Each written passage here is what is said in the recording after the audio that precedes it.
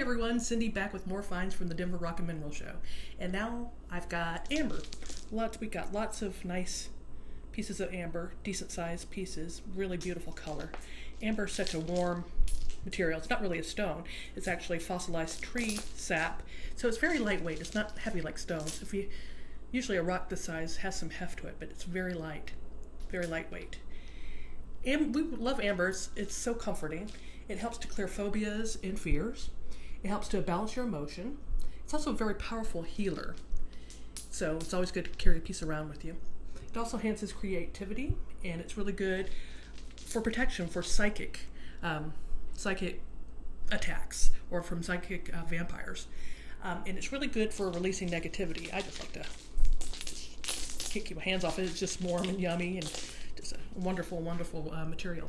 You can get yours at the store or at magicalomaha.com.